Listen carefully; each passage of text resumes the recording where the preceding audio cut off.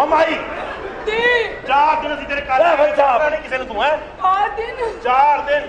ਅੱਕਾ। ਚੱਲ ਨਹੀਂ ਮਾਈ ਅੰਦਰ ਜਾ ਕੇ ਕੁਝ ਖਾਣ ਪੀਣ ਵਾਸਤੇ ਭੇਜ। ਚੱਲ ਚੱਲ ਅੰਦਰ। ਐਦਾਂ ਨਹੀਂ ਤੇ ਕਿੱਥੇ ਲਾ ਰਹੇ ਅੰਦਰੋਂ ਬਾਹਰ ਨਾ ਮੈਂ ਤੈਨੂੰ ਦੱਸ ਦੇਵਾਂ। ਅੱਛਾ ਮੈਂ ਨਹੀਂ ਆਵਾਂ ਦੀ ਬਾਤ ਚੱਲ ਇੱਥੇ ਕਿਤੇ ਜਾਨੀ ਆਪਣੇ ਅੰਦਰ ਜਾ ਰਹੀ ਕਿਤੇ ਮਾਮਾ ਸੌਰਾ ਬੈਠੇ। ਅੱਛਾ ਵੇ ਇੰਨੀ ਦੇਰ ਚ ਦੌੜ ਚਾਹੀਦਾ ਹੁੰਦਾ। ਅੱਛਾ। ਹਾਂ। ਪਤਾ ਹੀ ਨਹੀਂ ਲੱਗਿਆ ਮੈਨੂੰ। ਅੱਛਾ ਉਸਤਾਦ ਜੀ ਸਾਨੂੰ ਤੰਗ ਕੋਈ ਨਾ ਕਰੇ ਕਿਉਂਕਿ ਮੇਰੇ ਨਾਲ ਫੈਮਿਲੀ ਹੈਗੀ ਤੁਹਾਨੂੰ ਪਤਾ ਹੀ ਹੈ। ਕਾਕੂ ਜੀ ਆਖੂ ਜੀ ਦੀ ਬੱਚੀਏ 4 ਕਰੋੜ ਰੁਪਈਆ ਸਾਨੂੰ ਅੱਜ ਚਾਹੀਦਾ ਹੈ। ਓਏ 4 ਕਰੋੜ ਰੁਪਈਆ ਤੇ ਤੇਰਾ ਪਿਓ ਦਾ ਪਿਓ ਵੀ ਦੇਗਾ ਓਏ ਇਸ ਕਰਕੇ ਕਿ ਪੂਰੇ ਪੰਜਾਬ ਦੇ ਵਿੱਚ ਕੋਈ ਐਸੀ ਜੇਲ੍ਹ ਨਹੀਂ। ਓਏ ਜਿਹੜਾ ਸਾਡਾ ਭਾਰ ਚੁੱਕ ਸਕਿਆ।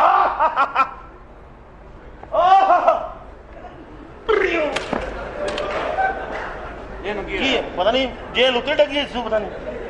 ਉਹ ਕੀ ਹੋਇਆ? ਪੰਜਾਬ ਦੀ ਕੋਈ ਜੇਲ੍ਹ ਕਰਿਓ ਮੈਂ ਵੀ ਬੇਹੋਸ਼ ਹੋਣਾ। ਖੈਰ ਤੇ ਹੈ ਤੁਹਾਨੂੰ ਕਿਉਂ ਬੇਹੋਸ਼ ਹੋ ਜਾਂਦੇ ਹੋ? ਪੰਜਾਬ ਦੀ ਐਸੀ ਕੋਈ ਜੇਲ੍ਹ ਨਹੀਂ।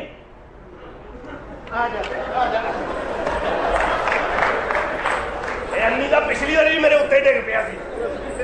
ਤਿੰਨੋਂ ਇੱਕੋ ਹੀ ਗੱਲ ਕਰਕੇ ਬੇਹੋਸ਼ ਹੋ ਗਏ ਨੇ ਮੈਂ ਵੀ ਟਰਾਈ ਕਰਨੀ ਹੈ ਜ਼ਰਾ।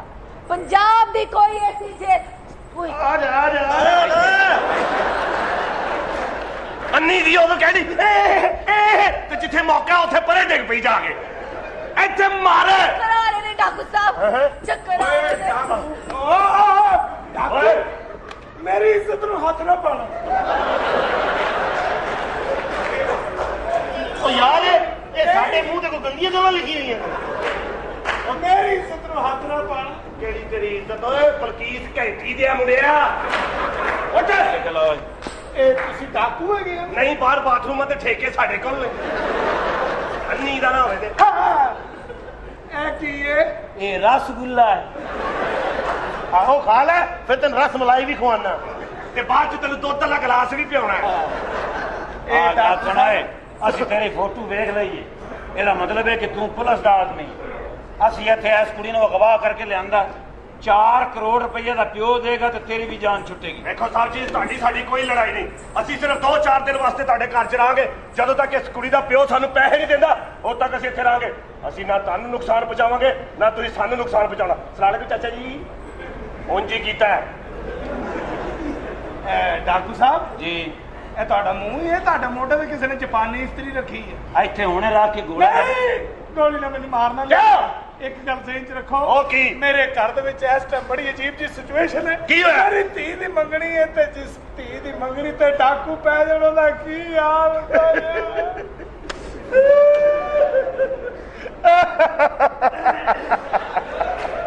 ਤੂੰ ਕਿਉਂ ਰੋ ਤੂੰ ਕਿਉਂ ਰੋ ਰਿਹਾ ਹੈ? ਤੇਰੀ ਤਾਂ ਬਹਿਣ ਹੀ ਕੋਈ ਨਹੀਂ ਹੈ ਅੱਛਾ ਉਹਦੀ ਵਜ੍ਹਾ ਤੋਂ ਰੋ ਰਿਹਾ। ਹੈ? ਅਫਸੋਸ ਲੱਗਿਆ ਮੰਗਣੀ ਦਾ। ਤੇ ਫਿਰ ਕਿਉਂ ਰੋ ਰਿਹਾ ਪੁੱਤ? ਅੱਧੀ ਦੇ ਪੈਰ ਚੁੱਕ।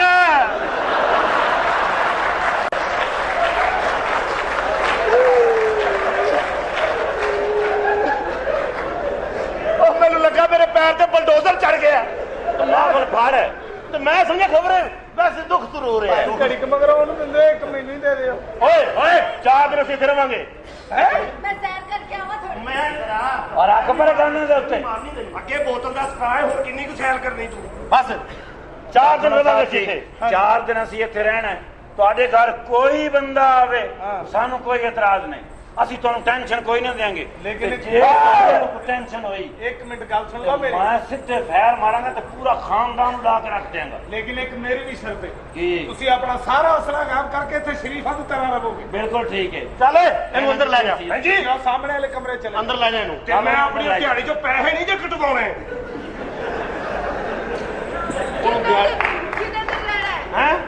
ਕਿੰਨੇ ਦਿਨ ਚਾਰ ਦਿਨ। ਤੇ ਬੰਦੇ ਕਿੰਨੇ ਨੇ? ਹੈਂ? ਕੀ? ਚਾਰ ਦਿਨ ਲੈਣੇ ਅੱਛਾ ਡਾਕੂ ਕਿੰਨੇ ਨੇ? ਮੈਂ ਕਿਹਾ ਕੋਈ ਹੋਰ ਤੇ ਨਹੀਂ ਤਿੰਨ ਡਾਕੂ ਨੇ। ਬਸ। ਤੁਹਾਨੂੰ ਕਿਹਾ ਸੀ ਨਾ ਘੋੜੇ ਲੈ ਲਓ ਨਾਲ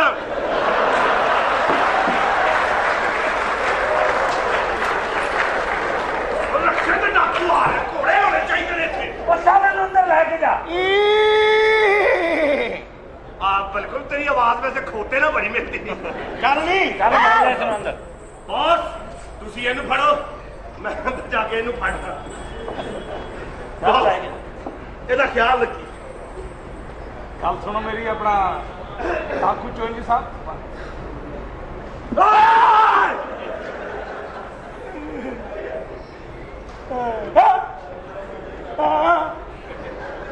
ਮੈਂ ਆਪਣੇ ਆਪ ਨੂੰ ਚੈੱਕ ਕਰ ਰਿਹਾ ਕਿ ਮੇਰੇ ਚ ਚੁਸਤੀ ਹੈ ਕਿ ਨਹੀਂ। ਏਡਾ ਕਾਹਦੇ ਲਈ ਡਰਾਣ ਦੇ ਮੇਰੇ। ਮੈਂ ਬੇਗਮ ਨੂੰ ਸਮਝਾਵਾਂ ਕਿ ਡਾਕਟਰ ਨੂੰ ਕਿਵੇਂ ਮੈਨੇਜ ਕਰ